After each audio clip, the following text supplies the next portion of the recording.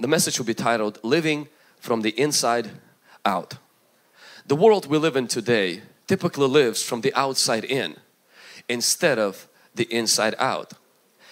Not long ago, I think a year or two, we've had this situation in the, in the playground of our church where a little hole developed and a surface of the ground started to kind of slowly cave in. It wasn't a big hole, it was maybe the size of the ball at first. And then the school that rented the facility, turns out that they investigated that hole and they found out it wasn't just a hole, but this was a hole that led to a tunnel underneath of our playground in the church. So they quickly closed that area off and they couldn't, kids couldn't walk over there because they found out that there is a height of a, my dad's height size of empty space of a tunnel that was in our playground. And you know, the school quickly figured out how we all came to America through the tunnel from Alaska, all the way from there. And how most of you came from Mexico, all through that. That was underneath of our church, guys. I'm just kidding. That was not how we came here and not how you came here. And so what happened is that the reason why they closed down the nobody from walking there nobody from playing there we couldn't park our cars there is because there was an emptiness that existed under the surface and in fact the surface started to slowly cave in into that empty well or empty tunnel whatever that was in we still couldn't figure out what it was sometimes people live their lives and the surface of their life caves in into their soul and it's not that the life is heavy, it's that heart is empty. We blame life and say, well, just my life is difficult. But you know, there are people who've been in a lot worse situations that you are, and not only they came out, but they thrived above that. And there are people I've met, and probably you have as well, who actually on the outside have nothing going on that's bad and they're full of depression. They're dying on the inside, bleeding out on the inside. And a lot of times you can have a small grass and it will cave in into that hole. Not because the grass is too heavy, not because the little children are too heavy. It's that there is nothing under the surface that could sustain the surface. See, many Christians today live the same way where their soul has a hole and everything on the surface in their life small pressure small problem or small success any kind of weight of responsibility becomes so heavy to bear that it caves in. Now we all collapse differently. Some people when they collapse they drink some people when they collapse, they become quickly irritated, agitated. Some people can't sleep at night. Some people when they collapse, they just go into drugs. Some people they go into pornography. Some just simply become angry. We respond differently to when the surface collapses inside of us. But the common problem that runs through all of this is that our heart is empty. Not our problems are too heavy we do need to sometimes rid of ourselves of certain things. Maybe get rid of some debt debt toxic relationships get a psychologist a counselor go into marriage counseling maybe perhaps lose some weight and perhaps stop this and stop that. All of these things have their place but none of them will be enough to fix the hole in the soul Sooner or later, the kids had to run in the playground. The sooner or later, you know, the problem wasn't that the kids were too heavy. The problem is the ground had nothing to support it. And so when my pastor and Ivan and a few others started to bring some dirt and compress the dirt in that hole, it covered that hole and now in fact at this moment my car is parked right on that place where before it couldn't handle kids running over it see your heart is designed to be not a place that reflects your circumstances but a place which hosts the Holy Spirit and changes your circumstances. The Bible says in Proverbs that guard your heart above all things for out of it spring forth the issue of life. In Luke it says that a good man out of the good treasure brings forth good in both of these places or in John 7 verse 38 it says he who believes in me out of his heart will flow out the rivers of water. So I see three scriptures in which God says that not the outside supposed to come inside but the inside supposed to come on the outside. And so God doesn't want me to live from the outside in But because of the presence of the Holy Spirit, He wants me to live from the inside out.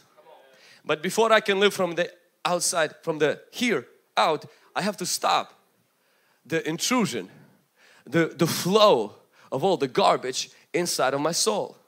See, many of our hearts are like septic tank. Septic tank is something that is hidden and all the sewer from the house goes into it. Many of us, we become, we turn our heart into a garbage can. What all the problems of life find the resting place in the heart of our life. And then we no longer can change our circumstances. Why? Because we've been changed by our circumstances.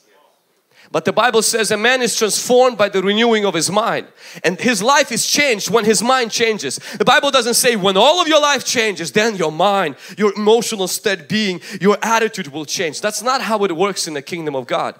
You have the Holy Spirit living inside of you and because of that God wants to change your inside today. And so out of that it will flow into your circumstances and produce change in your circumstances. Are you with me? A secret place is not only a physical place where I go to prayer to see and visit God. A secret place is a state of mind in which God visits me. Let me say that again. A secret place is not just a place to which I go to meet God. A secret place is a state of my mind into which God comes and meets me here in here. Scripture says things like pray without ceasing. We know that that's not possible to pray on your knees without stopping day and night or at least every single day. Paul knew most of us have jobs, we have a school to go to, we have families to raise and so praying without ceasing that's not possible. So Paul I don't think he was referring for us to praying like this without ceasing. He was talking about something else where we can stay in communion with God even while we're doing our duties, responsibilities and household chores. Jesus says, abide in me as the branch abides in the vine. And then out of that he says, pray then to the Father, ask Him whatever you want out of a place of abiding. Abiding is not just sitting and praying and reading the Bible. It's a mental state of a person linked and connected to God whether he mows the lawn, takes photos, washes dishes, plays with children. His mind, his heart is somehow, some way connected, sends these pulses to God, meditates on God, relies on God and thinks about God. And out of that place that man begins to then pray and his prayer is an extension of his secret place. We all meditate. Every person who says, I don't know how to meditate, if you know how to worry, you know how to meditate. Not all of us will pray all the time, but we all think all the time. And the Lord wants us to turn our thinking into meditation upon Him. Now, sometimes it's not easy to meditate. Now, let me, before I talk about the meditation, let me correct something. Today in our culture, the topic of meditation has become extremely popular through yoga, through, I mean, I have it on my phone, breathe app. Just during worship, it showed up, breathe. I was like, I mean, what, what, was I doing up to this point? What was I not breathing? you know, and then it says breathe deeply. And so there is a there's this thing in our culture. It's put on our phones the importance of conscious breathing and all kinds of you know channeling all kinds of energy. And, and, and most of that stuff is purely demonic. The reason why is because the meditation New Age presents is all about emptying yourself. The meditation the scripture talks about 23 times is all about filling yourself. Meditation the world talks about is all about detaching from the reality. Meditation God talks about is always attaching to His presence, His promise and His power. The meditation in here is always passive. Christian meditation is always aggressive. It's a warfare. Meditation, you don't see meditation when you sit and you just, just chill. That's not meditation. Not, not the kind of world we live in. The kind of world we live, scripture talks about meditation. You take your thoughts captive. It talks about think on these things. That's, that's aggressive. That's intentional. That's actually not trying to think about nothing. That's trying to think about something. So that's completely different. And that's why this meditation can get you demons. This meditation gets you miracles. This meditation, it says he meditates on him day and night and he will be like a tree planted by the rivers of water. The word, book of the law shall not depart from your mouth, but meditate in it day and night, and you will make your way successful and you will have good success. This meditation produces miracles in partnership with Holy Spirit. Dear friends, secret place. Every person can have a secret place without praying five to seven hours every single day. Because five to seven hours every day already, you and I think. You don't have to do anything different to live in a secret place. You just have to think different to live in a secret place. You can still do what you do, but change your thoughts from thoughts to talks with God in your thoughts. You know how a lot of times in our thoughts we talk to people like I'm gonna say this to them, I'm gonna, I'm gonna reply, I'm, you know, how they're, and we have this whole conversation going and nobody else is there listening except you. You know, what if that imaginary conversation is just switched a frequency? My, my car doesn't have a Bluetooth um, to play music from my phone. And so what we had to do is we had to buy this um, aftermarket device you put into this place where you uh, create a smoking, how do you call that? Uh, not smoke detector, the, the, the lighter. Yeah, you put that into the lighter and, uh, and then what you do is that on the radio you switch to a particular frequency and the moment you switch to that particular frequency, everything from your phone begins to play through the stereo. See, that's exactly how our mind is. It's like that radio. What God wants us to do is He wants us to switch to the frequency we're still, something is always playing. And God says, why don't you switch to the frequency where my stuff starts playing and the rest of the stuff goes silent. It's still there. The rest of the frequencies are still in my car. They're just not sounding no more. You just don't hear them anymore and you hear the sound of this particular thing that I want to play. God wants us throughout the day to capture dominant thoughts that are playing in our mind and just switch the frequency to His promise, His presence, His power, His precepts. Come on Lord, give me one more P. His principles his peace and we can go to all other things that the Lord wants us to switch things on. Now I understand every single person here, let's face the reality. When we begin to even think about thinking, it gets, it gets hard. Sometimes it's the hardest thing to do is to actually think. What I try to do to myself and I would like to encourage you to do the same. When you catch your mind wondering, when you catch your mind debating with people, when you catch your mind arguing, fighting, when you catch your mind worried and going into that cycle, you for a moment take a pause, walk out from, from that and ask yourself this question. Who is more real? That which I'm thinking about or the Holy Spirit? The Holy Spirit is more real. Secondly, who is greater? That which I am thinking about or the Holy Spirit? The Holy Spirit is. And number three, who can actually change and alter my circumstances? The fact that I'm worried about it or the Holy Spirit? Sometimes our mind is get locked in into that like a broken tape where it constantly rehearses something negative or something evil. Let's imagine for example, actually a gentleman came to me after the first service. I mentioned the example of if you have a flat tire, you can't change the tire. Then you realize you know your flat tire you need to buy a new tire. Oh actually you need to update all the all the tires and they're expensive and you don't have enough money. And that thought leads to another one the fact that you're broke. It leads to another thought the fact that your life sucks. It leads to another thought that but the fact that all of your dreams are on a pause and you know what? You don't like your life. That one flat tire can lead into a train of thought where everything is so so bad.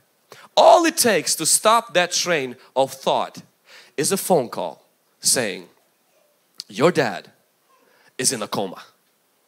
Quickly, your tire no longer a problem. Why? Because a bigger problem came. It made that problem no problem at all. That's how our mind works.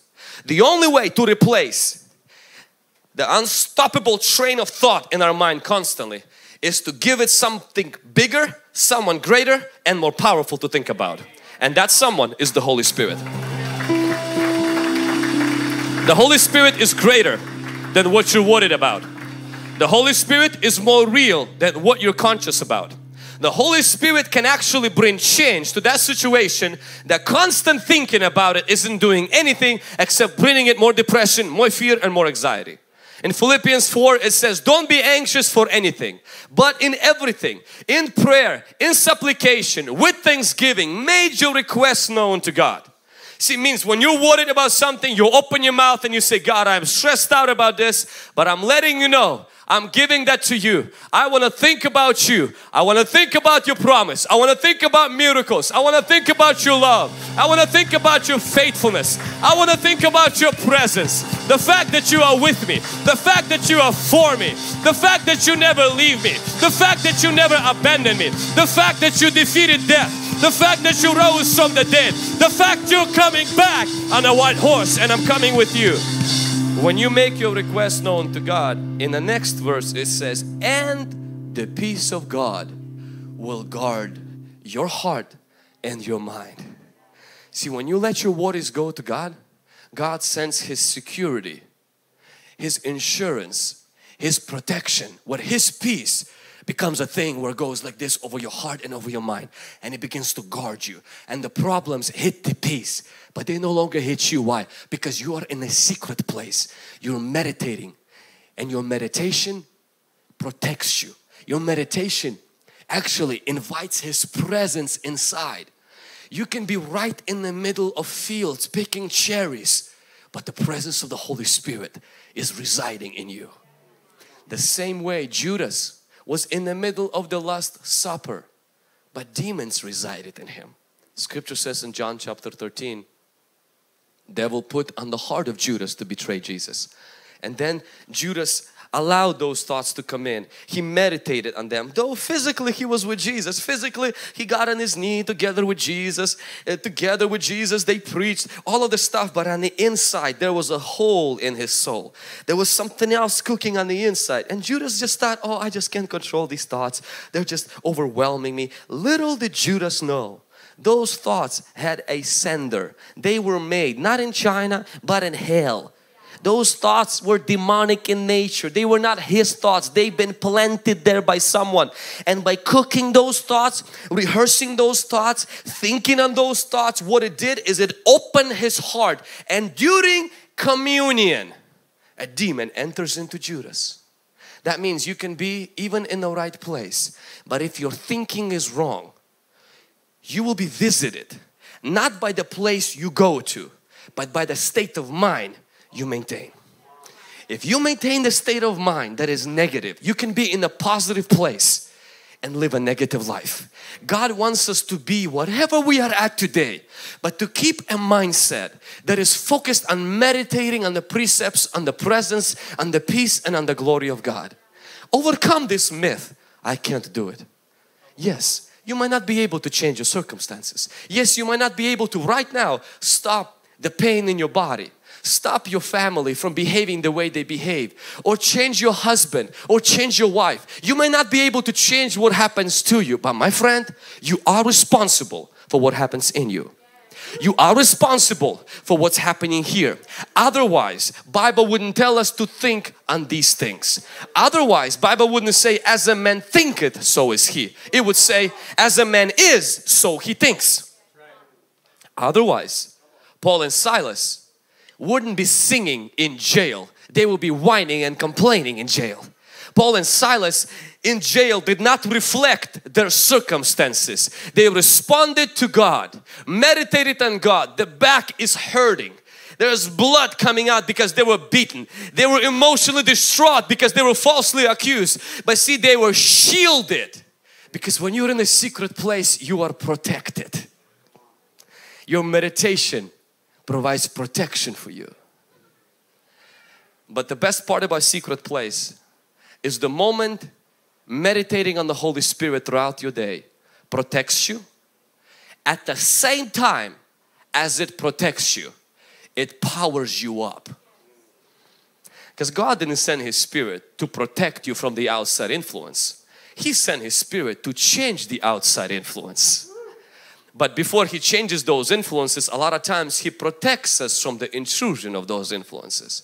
I just want to take one more moment and remind some people here today who have problems that caved on you, that got inside of you, and you're playing a victim. You're like a thermometer walking around only measuring the climate of your heart and telling everybody the reason why I'm so down is because my life is so hard. That's not entirely true. Titanic did not sink because there was too much water in the ocean. There was always water in the ocean. Titanic sunk because the water went inside of the Titanic. Viktor Frankl, he said something that really touched me. Viktor Frankl in 1942, he was a director of neuro neurological department in Vienna. He was forced by Nazis to abort his child.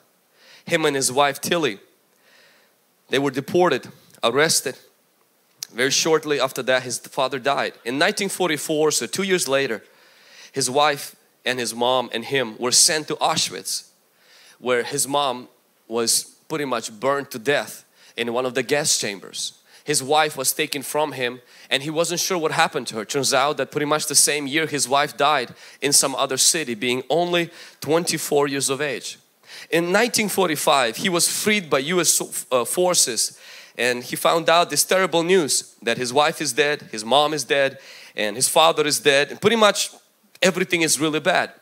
He wrote a bunch of books, but in one statement he said this Everything can be taken from a man, but one thing.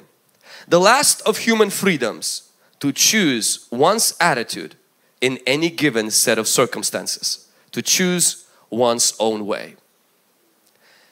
It is the gift that God has given to you to not live from the outside in, but to live from the inside out.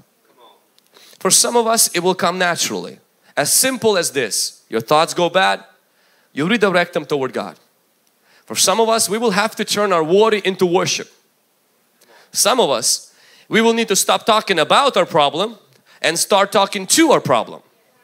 Some of us in here, our thoughts are such a spoiled brat that they're not going to listen to you.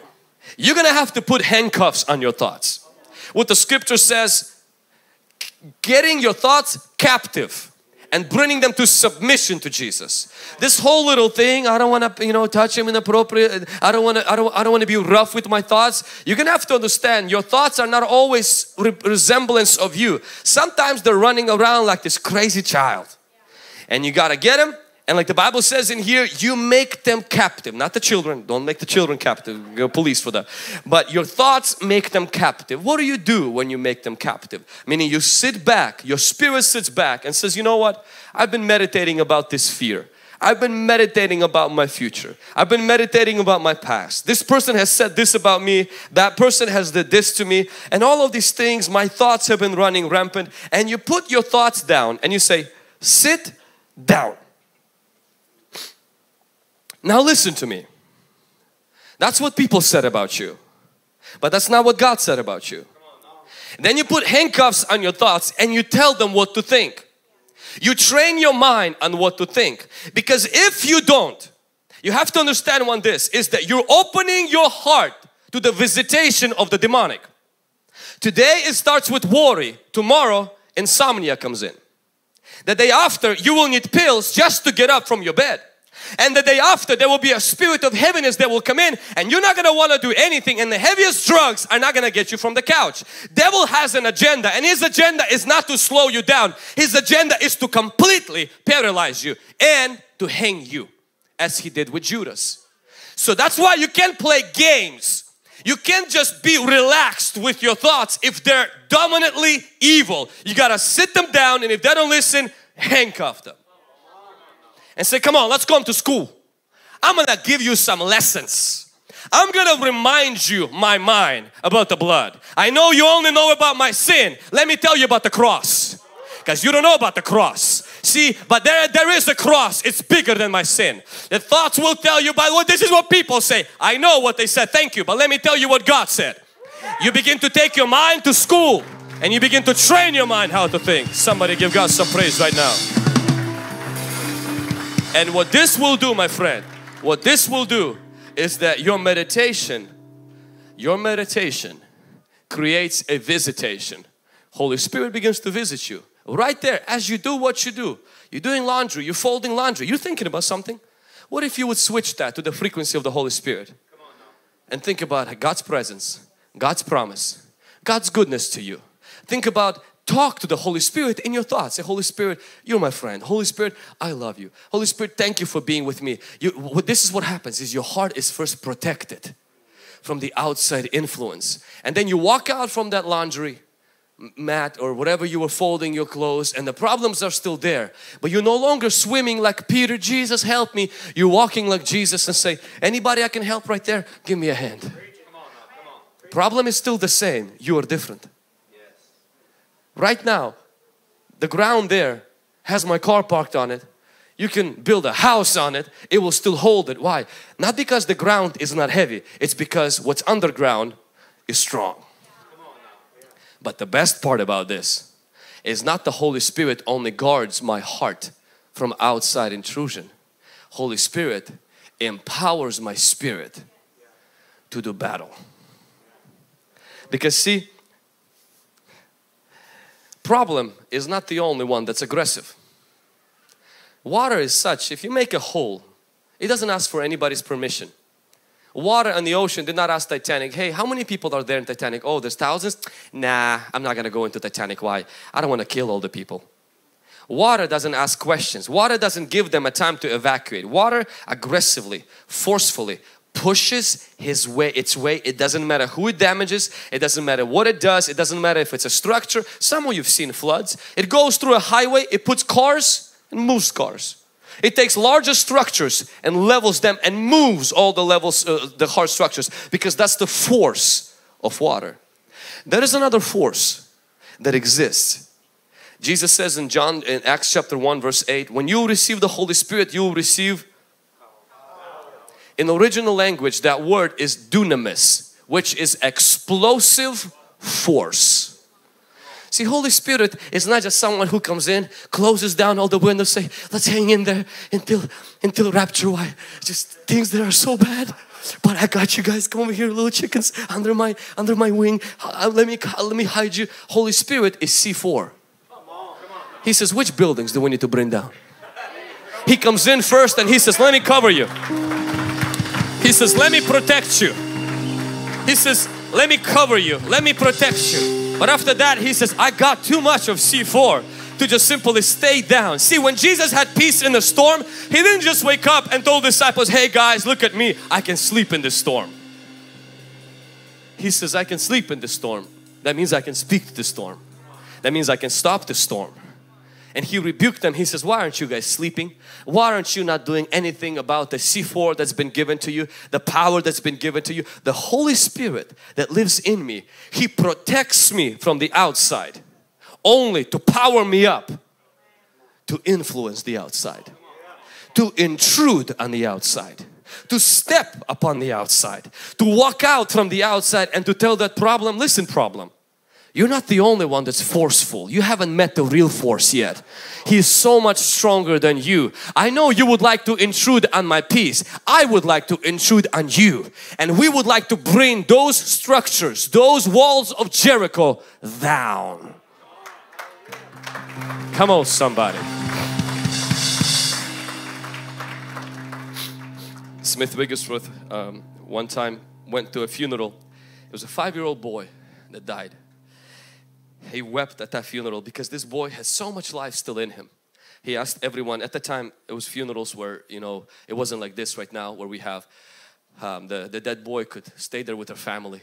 And so he asked all the family to leave. He said, give me just a few moments. He went, closed the doors, took the, the boy out of the casket. Dra he was a big guy, so he dragged him out. Nobody, nobody was there because this would be really bad. He puts that dead boy to the wall that boy keeps falling off. He says, uh, stand. He puts him, leaves him, and then walks on the other room, on the other side of the room, and begins to command life to come into a corpse. How is that even possible? How can a man take something that's dead and speak life to it? It's possible if the Bible says guard your heart because out of it flows things. See, we're only used to garbage flowing in. God says my spirit makes power possible to flow out. In John chapter uh, 8, it's, John chapter 7, it says that rivers of living water will flow out. Meaning, and these rivers, they carry life. Whatever these rivers touch, they can bring life. And that boy, five years of age, who was dead, they had his funeral, walked from that wall to that guy. Now he says, I've never seen this happen before, but it happened. And then when the doors were open, two both people alive walked out.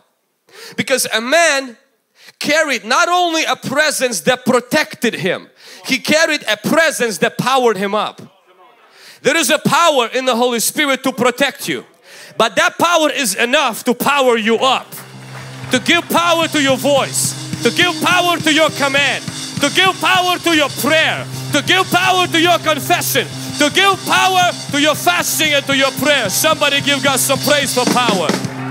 Somebody give God some praise for power the holy power, God's power, God's power. Some trust in green power, some trust in black power, some trust in white power. We have the Holy Ghost power.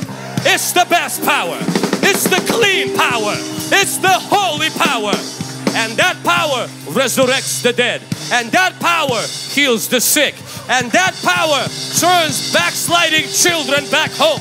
That power takes asthma and destroys it. That power takes tuberculosis and reverses it. That power lives inside of you. That power lives inside of you. Santo Santaya. That power belongs to us. I want to remind you today don't limit the Holy Spirit to only protecting you from the outside influence because He's so much more. He came so we can influence the outside. So that it will be said about us what it says about disciples. These have turned the world upside down. It didn't say about them, oh, we persecuted them, we crushed them, fed them to the lions, but they're still happy. They were more than happy. They were conquerors. They influenced their world for the kingdom of God. They didn't just protect it in their peace, they let the river flow out. Have you let your heart become a septic, septic tank of all the sewer? Or have you let it become a fountain of living water where things come out? Have you reduced your spiritual life to becoming a thermometer? You're simply, you're mad. Why? Because everything is bad. Meaning your heart pretty much just tells everybody where your life is. God wants your heart not to be a thermometer. God wants it to be a thermostat. Will you punch in God's promises? Will you punch in what the Lord says about you? And even if your outside is not changing, on the inside you're in a different climate. And then when you walk out, you carry an atmosphere shifting anointing.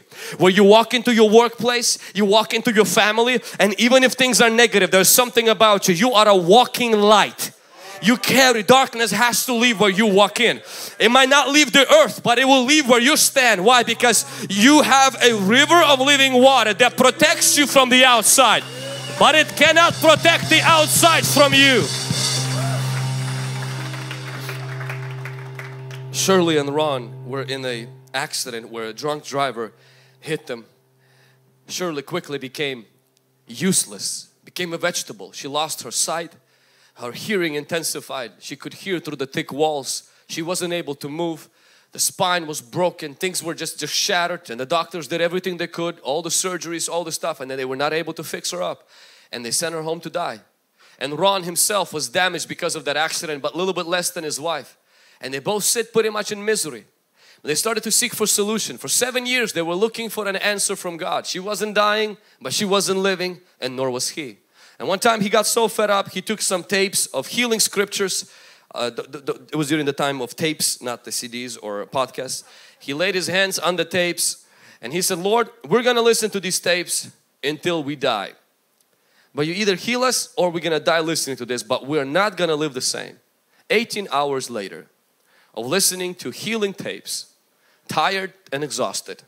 But you know, when you listen to that for so long, your sinkhole becomes filled. Your body might still be sick, your mind is no more sick.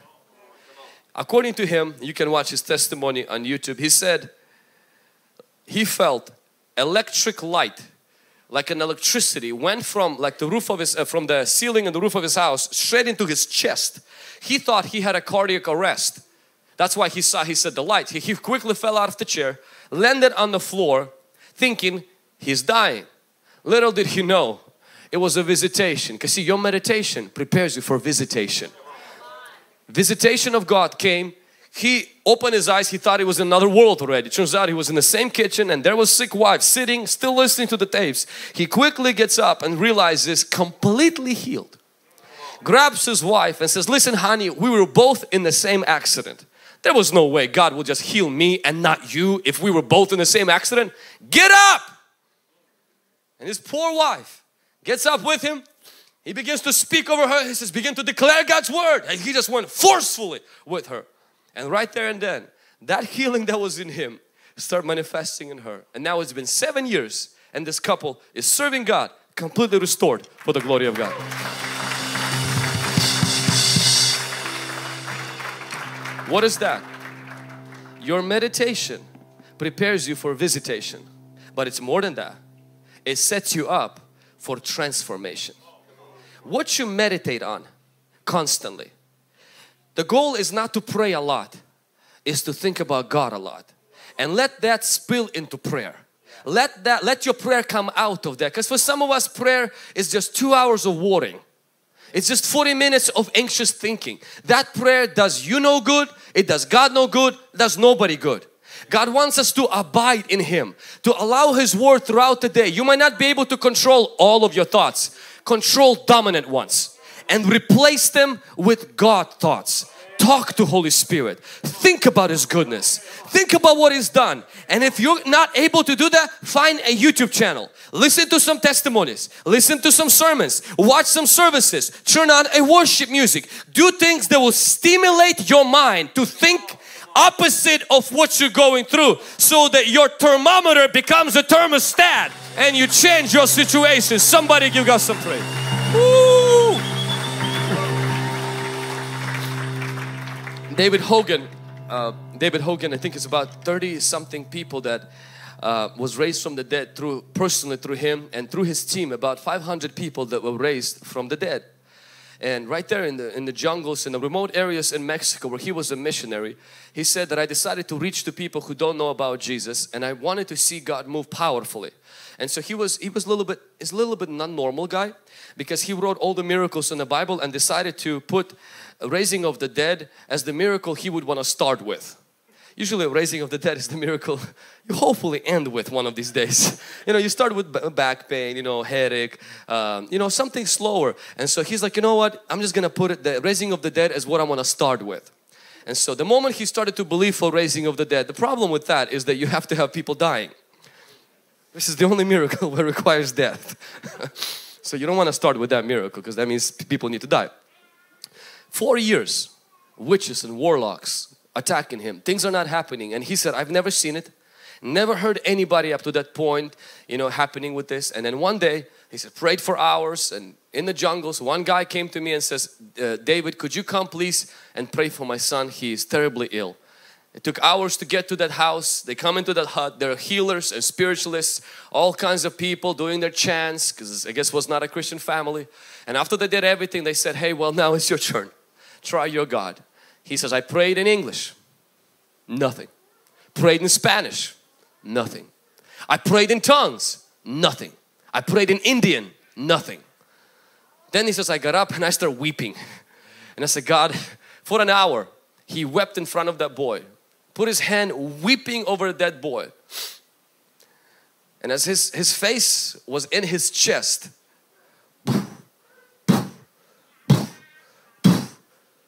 He said, I stopped weeping and I realized the heartbeat came back. And the boy got up. And God resurrected the boy from the dead. And he says, this is how the first time I've seen the resurrection. He says, I never read a manual. I did not know the formula how to pray. I just knew one thing. Greater is He that is in me than the one that's in that. And I decided, let the river flow out of me into that situation. You might be facing something today that's terminal. You might be facing something today that's that's impossible. We might prayed for it. We all might have prayed for it for a very long time. You might be watching us right now and you're facing something that the doctor said there is no hope for that. Maybe you are drowning under the weight of your problem. I want to tell you something today. You were never designed to be a garbage can. You're a fireplace. The Holy Spirit wants to take residence inside of you. He wants to protect you from the outside influences. But not only that, He wants to fire you up. He wants to show the world who's in charge. He wants to show your problem. He's way greater, way bigger than any other problem. He wants to manifest His goodness in your life and His love and His mercy and His compassion. He wants to protect you. I feel like in this room there are people, even as I'm looking over you, you're like a beautiful lawn that's caving in. Your education, your connections, your appearance, your wonderful looking Instagram profile is all a facade because on the inside you're bleeding, you're dying. And it's not because you don't pray, it's that your meditation is wrong. And today we're not here to judge you. We're not here to point fingers and say you're bad. We're here today to challenge you and to say let's do it together. But if you are here and you're saying Vlad, you know what, I recognize that's me. I recognize I'm the sinking hole Christian. I am on the inside I don't meditate. My thoughts have taken a turn where it's draining me and today I'm battling with things. I, I take, take pills to sleep. I can't function and all of these things and I need some help. Today is your day where the Lord not only wants to pull you out, He wants to come inside. and He wants to fill you and overflow you into your circumstances. So when you walk to work tomorrow, light walks to work tomorrow. When you go to a job interview, you don't go to a job interview as beaten by life. You go into a job interview with your shoulders squared, your head lifted high. Why? Because greater is He that is in you because the river lives inside of you. You're not a garbage can, a septic tank, you're a river, a fountain, a well. Miracles can happen. That means you can get the job you didn't apply for. You can get the job you didn't qualify for. Things that never happened in your family can happen. Things that everybody said is not possible can happen. Things you prayed for and believed for seven, eight years can happen. Why? Because the Spirit, the Spirit, it's not by might, it's not by power, it's by my Spirit, says the Lord. And He lives inside of you. He is here right now. If you're saying, Vlad this message is for me, I recognize I need that help today. Get out of your seat and come to the front and we're gonna pray. Get out of your seat and come to the front and we're gonna believe with you. We're gonna believe the Holy Spirit will touch you. We believe that God will visit you right now in this room.